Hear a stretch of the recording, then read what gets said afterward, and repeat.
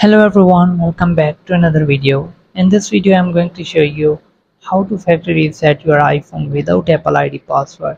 So if you're trying to factory reset your iPhone but it's keep asking for your Apple ID password which you don't have. So if you want to really factory reset your iPhone, but first of all you have to sign out.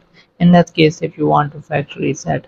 So if you don't have the password, so let me show you how it goes so if I click on erase all content and setting click on continue enter the passcode of my iPhone then click on skip backup. And as you can see without the Apple ID password I'm not able to simply factory reset my iPhone. So I'm going to show you a way where you can reset your Apple ID password. So now if you're wondering how you can reset it uh, so in case if you have lost your sim card you don't have the phone number trusted phone number to sign out the apple id to reset the password so let me show you a way where you can reset your password even without phone number. So let's get start the video. So simply just click on general. Then click on transfer reset, click on erase all content and setting, click on continue, enter the passcode of your iPhone.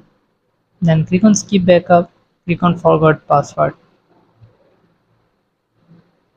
So once you've done this, now simply enter the passcode of your iPhone again here you go. Now you have the option to change your apple id password. So once you change your apple id password the new password then you can go back to settings.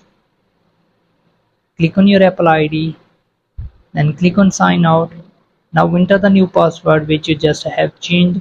Once you turn it off then you will be able to factory reset your iphone without entering any apple id password. So this is the way this is how you can do that Hope this video helps you. If it does then leave a like and comment. Thanks for watching. See you in the next video.